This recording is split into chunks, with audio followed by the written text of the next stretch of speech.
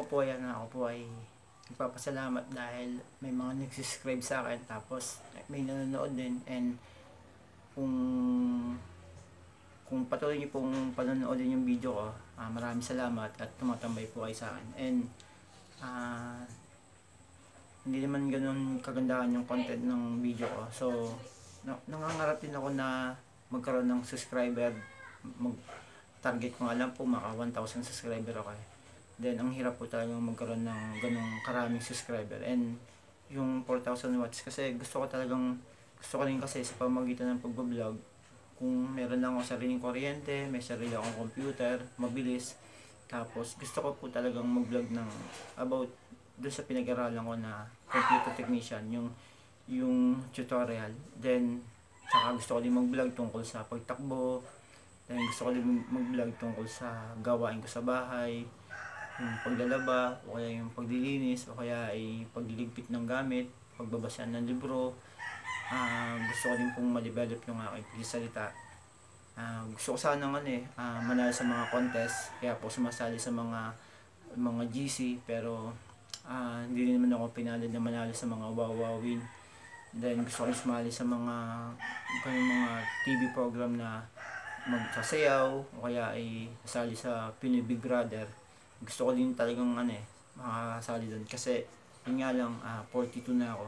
So, ang may ano may edad na limitado lang kasi. So ano, isip ko kasi sa pag-vlog ko baka dito uh, magkaroon ako instant na pera. Ang target ko talaga mag-vlog tungkol sa running at saka sa computer at saka sa gawain sa bahay at saka yung mga gamit ko. And then, siyempre, hindi, wala namang magkakaroon ng interest na yun. Kasi hindi naman, hindi, hindi naman magbabiral yung mga video ko. So, sa pagbablog ko, baka mayroong magka-interest. Tsaka, ayun, ah, gusto ko din talagang kumita ng, ano, ng pera sa pagbablog. Ah, gusto ko din makagawa ng video na magbabiral siya o kaya kapupulutan ng araw. And mahirap po talaga kasi yung mga cellphone na gamit ko, luma lang siya. Ito yung cellphone na nasa akin ay bigay lang naman to sa akin. Minsan nga, ah, plano na nga niyang bawiin itong cellphone na to. Pero hindi niya, sabi lang niya, pero nagpapasalamat din ako kasi malaking tulong na binibigay niya sa akin and suporta sa akin. Kasi wala talaga ako. So ako naman, uh, sa bahay lang ako. Sa bahay naman, uh, sa bahay lang, gawa-gawa lang paminsan-minsan. Then, pabigat din ako sa pamilya ko. Pero kung sakali man magkaroon ako ng kapital o puhunan, ayoko na rin talagang manatili sa loob ng bahay. So gusto ko talagang magtinda o kaya makapagtrabaho na mas regular at saka magagamit ko yung skill ko. Dala lang po talaga ng kawalan, kaya ganito ako. So, kung luluobin ng, ng pagkakataon at saka nung nasa taas na magkaroon ako ng kapital, magpapasalamat ako dahil meron pa rin naawa sa akin. Especially na matulungan ko talaga yung sarili ko, yung buhay ko. Kasi, uh, na-depress din kasi ako. Una, wala akong asawa. Pangalawa, uh, nagkaroon ako ng anak tapos hindi ko naman may ibigay yung yung yung pangangailangan niya ay hindi ganun totally na ibibigay ko lahat-lahat. So, syempre, nakukonsensya din ako na na yung kulang hindi ko may bigay sa kanya.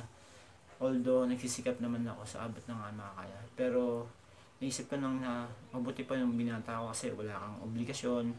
Pero nagkaroon ako ng anak, para bang ano din ako, napapaisip din ako sa sarili kung bakit, bakit, uh, dapat nagbinata na lang ako. So, yun, pero at least kahit may anak ako, yun, uh, kulang man yung, yung support support ako sa kanya, naunawaan pa rin naman niya ako. And salamat din sa kamag-anak ko na, na kumukup sa, sa anak ko. And then, doon sa anak ko, anak, uh, kulang ako sa sa pagiging yung pangangaral ng bilang isang ama kasi minsan ganun lang ako magsalita kasi although talagang nagangad talaga ako na mag-aral na mag-aral.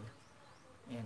Kaya gusto ko naging aggressive ako sa pag-aaral pero hindi ko din naman siya nagamit kasi hindi din ako ang dami ko in-applyan nag-apply ako pero hindi naman ako natanggap kasi nga una hindi rin naman ako magaling sumagot sa interview tapos kulang pa ako sa sa mga pera, pinansyal, yung baon, pagkain, ah, requirements, ano yun. Then, may gusto talaga akong gawin sa buhay ko. Magkaroon ako ng shop. Gusto, gusto ko talaga magkaroon nun. Then, yun, gusto ko rin tumulong sa kapwa ko na, na interesado mag-aral. Kasi nung nag-aaral ako, talagang hirap din yung pinagdaanan ko talaga. So, sobra-sobrang hirap. And then, bago ko makuha yung mga certificate training ko, talagang dumaan talaga ako sa pakikisama sa mga kaklase, yung tipid sa baon, lakad, tsaka pursige talaga. Yung, yung, yung, yung pangarap ko talaga, ah, inaabot ko siya. Gusto ko siya marating. And, kundi din dahil sa, siyempre, yung, yung pagtitisakan ng magulang ko. Malaking tulong din sa akin yung magulang ko. Kasi nung nag-aaral ako, dito pa rin ako nakatira sa poder ng magulang ko. And ma- nagpapasalamat din talaga ako. Hindi ko siya masabi ng personal ng pasalamat mama.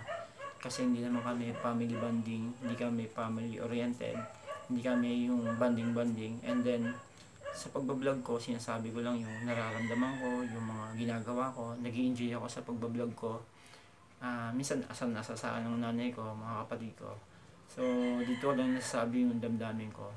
And then, ayun, ah, gusto ko na rin po talagang ano, makatulong talaga. Kasi, sa bahay na ito, kanya-kanya kami ng pagkain.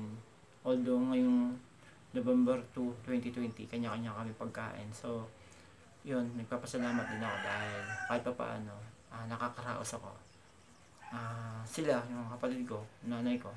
And then, ang hirap din kasi pag ang pamilya mo hindi hindi maayos at saka walang pagkakaisa. So, yun yung meron ako na pamilya ko. And then, siyempre, siguro, umaba pa ang buhay niya mama para mas masubaybayan pa niya kami. And then, ayun, ah, nagpapasalamat din ako sa sa taas kasi sa Panginoon kasi naabot ko din yung pangarap ko pero hindi pa siya din talagang totoong totoong pangarap na binimiti ko. Yun, ah, ang tagal ko naghintay dahil sa pangako sa akin ng isang teacher na talagang tutulungan talaga niya ako. Pero hanggang parang parang sa dagat ano lang eh gumagano lang ako. Saan ako makarating sama ako sa ganun sa ganyan. Parang hindi ko alam kung anong damdamin ng taong nangako sa akin kung tunay ba siyang tutulong sa akin o kunwari lang yung sabi niya. So ako naman antabay din naman ako so yun lang. Maraming salamat kahit papano. Nakatulong ka din sa akin.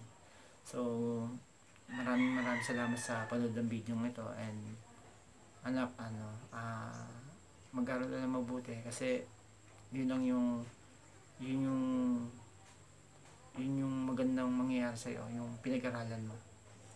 Although nag-aral din ako. Mga vocational, mga training, certificate.